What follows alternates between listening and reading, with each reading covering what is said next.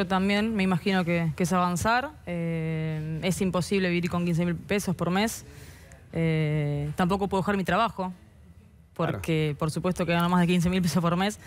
y, estar en la competencia y, dar una buena imagen o, quizás para que, para que los sponsors se acerquen. Eh, necesitas eh, estar más tiempo de lo que nosotras podemos estar entrenando, eh, tiempo físico también, es un desgaste físico que, llega, la hora de entrenar y yo estoy agotada, por ejemplo, ¿no? yo me levanto muy temprano, me voy a trabajar y me voy a entrenar. Y no es lo mismo si yo ocupo mi día a entrenar. Claro. Eh, ¿Es cierto que este sueldo, 15 mil pesos, equivale más o menos a lo que gana un jugador de la primera C? Eso es lo que me dijeron. Eh, él me va a ayudar acá porque... Sí, tengo entendido que, la comparación, la comparativa de, esto de los ocho contratos que, dijo recién Claudio Tapia, que ustedes vieron ahí la nota, tiene que ver más que nada con una comparativa con lo que es el Federal A y la primera C, que son, y el mínimo creo que para el primer contrato profesional un, jugador de la C están, en esos valores. Yo lo que pienso también, lo pienso más en lo macro que en lo micro. Las chicas no son profesionales, o sea, el fútbol femenino en Argentina no es profesional. Y de golpe de ninguna jugadora ser profesional, ah, si uno lo piensa en ocho contratos, uno piensa que son pocos contratos. De hecho, si uno lo piensa como club por club, son pocos contratos. Pero si lo piensas en 16 equipos que son es la A, estamos hablando que de cero chicas a 150, 160 chicas van a ser profesionales ahora. Entonces quiere, va más allá también inclusive del dinero. ¿No? Estar en blanco, derecho de trabajador, ¿no? Estar en el gremio, van a pertenecer al gremio de las futbolistas. Entonces me parece que, eso está, está bueno para ellas. ¿Y qué se sabe de, otro tipo de herramientas más? Porque estamos hablando del contrato. Por supuesto que es eh, el tema uno hoy a la hora de hablar de la profesionalización del fútbol femenino, porque obviamente el, profesional tiene que ejercer y cobrar guita, ¿no? Como corresponde. Pero ¿qué se sabe de otras herramientas, lugares de entrenamiento? Hasta hablaron de la posibilidad de que la AFA pueda invertir también en la construcción de un centro de entrenamiento para fútbol femenino en Buenos Aires. ¿Qué, están necesitando? Eh, porque lo del contrato eh, es, un tema aparte. Ahora, a la hora de, poder practicar el fútbol y entrenarse. Claro, en el día a eh, día. Se, ven también iguales hoy por hoy? ¿Se ven iguales que el fútbol masculino? No, para nada, para nada para nada. Los invito cuando quieran al club a, ver las condiciones en las que, estamos, eh, todas, ¿no? las, futbolistas en cada club, eh, para ver cuáles son las condiciones. Por supuesto que no, que no tenemos las mismas condiciones. Eh, a veces no hay lugar para entrenar, a veces no hay lugar para jugar, o te ponen el partido entre semana y en un horario donde vos tenés que trabajar. Tres de la tarde, eh, tenés que faltar al trabajo, tenés que irte antes del trabajo para poder ir a jugar. Y también con el desgaste físico que ya estás teniendo, levantándote temprano, y bueno, eh, todas esas cuestiones. Eh, es solo el comienzo esto, la, verdad que es, solamente el comienzo y hay mucho más por luchar todavía, ¿no? Inclusive Leo, no. No, yo, yo quiero recalcar en realidad que tiene que haber una estructura social eh, muy grande también. Eh, en las casas, en las familias, yo lo dije también en la nota con, Licha, eh, hay, que, hay que cambiar la mentalidad, porque a mí me pasó de, conocer chicas que, que, no podían jugar porque el papá o la mamá no las dejaban. tenemos que cambiar la mentalidad para, para poder crecer. tiene que haber en las escuelas, tiene que haber escuelitas de fútbol, tiene que haber, tiene que haber enseñanza. No hay enseñanza. Ni siquiera ahora no hay enseñanza. Tiene que haber divisiones inferiores también. Divisiones inferiores. no, sé cómo está trabajado Antonio, vos que sos técnico, el tema de divisiones inferiores. Hoy por hoy, Leo, estamos en un, sitio de privilegio, lo que es Racing, comparado a otros clubes. Tenemos, entrenamos en el predio Tita Matiusi como entrena, hoy por hoy también como entrena la primera con el, predio ahí, las chicos inferiores. Entonces nosotros estamos en lugar de privilegio comparado a otros clubes. Pero es verdad lo que dice Flor, de las condiciones por ahí en lo que entrenan otros clubes. De hecho, nos consta porque nosotros nos hablamos entre los entrenadores o entre jugadoras también. De que las chicas cuando tienen que jugar visitantes tienen que pagar su propio micro porque no, si no tienen manera de cómo, de cómo poder trasladarse. El tema logística no existe. Se lo, hacen entre las mismas jugadoras o entre el cuerpo técnico y las jugadoras. En Racing por ahí no vivimos esas vicisitudes negativas, digamos. Y nosotros tenemos la posibilidad en Racing inclusive ya de tener reservas, U16, U14 y hasta ahora empezamos también con infantiles. Pero no sé cuántos clubes lo han hecho y no solamente que no lo han hecho, sino que si lo pueden hacer, si tienen el lugar ¿no? de físico para poder hacerlo.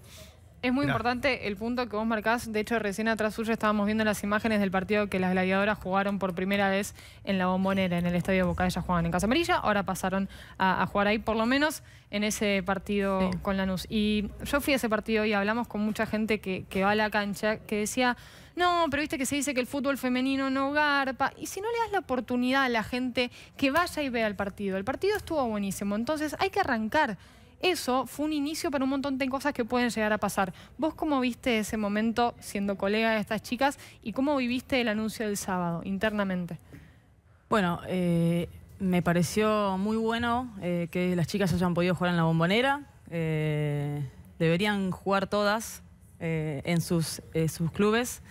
Yo tuve la suerte de jugar en el cilindro también el año pasado contra Independiente y fue increíble Aparte, como hincha lo, vivo distinto. Eh, así que eh, está muy bueno con respecto a, ese partido. Y, yo, sinceramente, hace más de 20 años que juego al fútbol y hace más de 20 años que espero que, se profesionalice. Entonces, eh, eso es un comienzo, está buenísimo.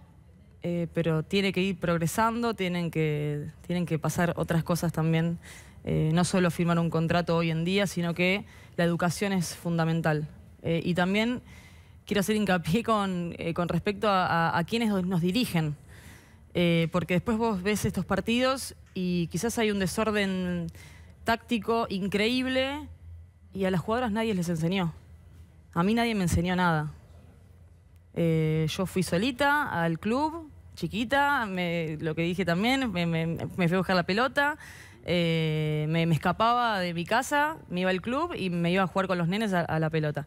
Eh, no tengo educación eh, como tienen los nenes hace muchísimos años. no tengo esa educación que, la, debemos tener. Así que me parece que ahí es donde también hay que apuntar, a la educación de, la mujer en el fútbol. Bueno, en, el tema reclamos, volviendo al tema de reclamos, me parece que ahora el que va a jugar una carta muy importante a partir de este momento es futbolistas argentinos agremiados. Eh, veremos de qué manera, pero ya hay algún departamento especial para el fútbol femenino o es, o es todo lo mismo, es decir, golpear la puerta agremiados ahí a la calle Salta. Es que no lo sabemos. Y, Desconozco. o sea, hay, un montón de cosas que están en el aire todavía, ¿no? No sé si en el aire, es que esto es muy prematuro y, tampoco sabemos cómo lo va a manejar cada club.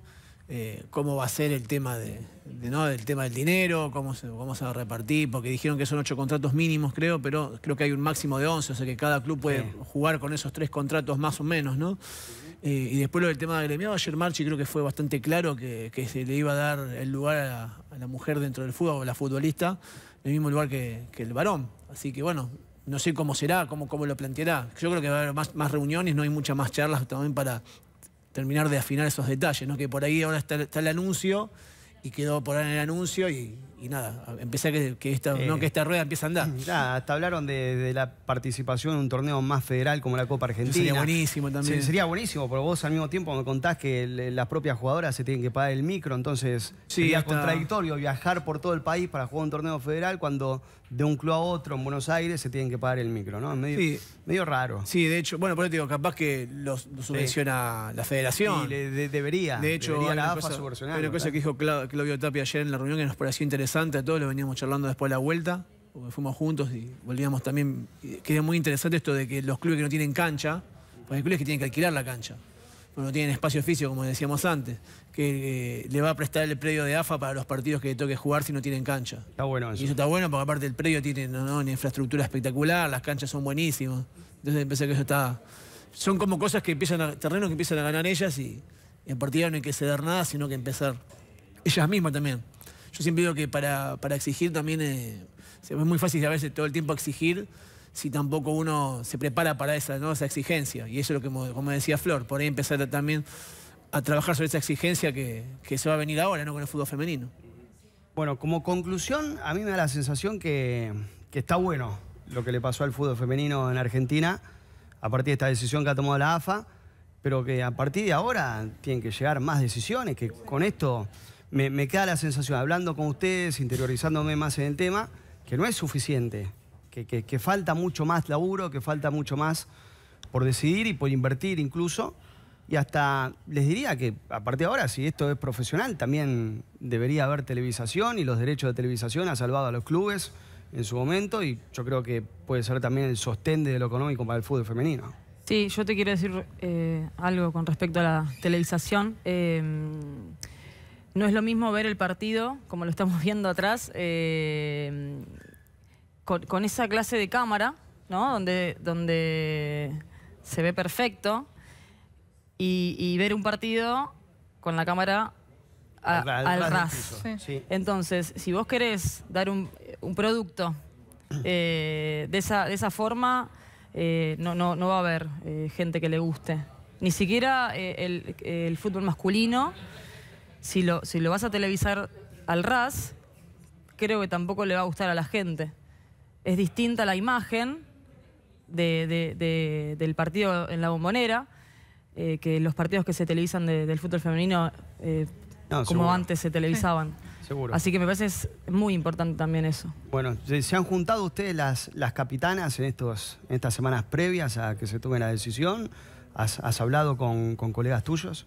Eh, eh, tenemos un grupo de, de- de WhatsApp. Eh, e- es, no es tan fácil eh, encontrarse con todas. También ha- hay diferentes opiniones. Y, y bueno, la realidad es que hay que unirse y hay muchas por ahí jugadoras que, que deberían también apoyar a la causa. También de Maca Sánchez deben estar al tanto Sí, claro. que, que no se unieron todas. No. Eh, más eh, más las, las, las jugadoras que ya están públicamente vistas, las de la selección, eh, que deberían apoyar la causa porque también las va a beneficiar a ellas ahora. Bueno, y sobre eso justamente, a ver, el anuncio lo hizo la AFA, lo hizo Chiquitapia, pero es cierto, esto es de ustedes y de la lucha que viene hace muchísimo tiempo. Recién ahora se está haciendo visible cuánto de incidencia tuvo la cuestión del feminismo, el, el reclamo y el pedido que hizo Maca, la cobertura periodística, más que nada de, de- de periodistas eh, deportivos, pero también en general. ¿Cuánto tiene que ver el tiempo actual que se está viviendo en la Argentina y en el mundo para que esto haya pasado? ¿Te tengo que ser sincera? Sí. Para mí, eh, primero la Conmebol obligó a los equipos a tener fútbol femenino porque si no, no podían competir. Ahí ya tenés un- el primer paso a donde obligaron. Y todo este, este, este movimiento femenino de, las mujeres eh, totalmente ayudó a esto y yo creo que Maca fue la que, la que puso el límite entre la decisión de sí o si no. Eh, estoy 100% segura que, que en realidad toda esta movilización de Maca fue la que generó que, que sí, bueno, hagámoslo. Eh, es mi opinión y es lo que veo en, todas las redes y en, la calle y, y toda la repercusión que, que tuvo Maca.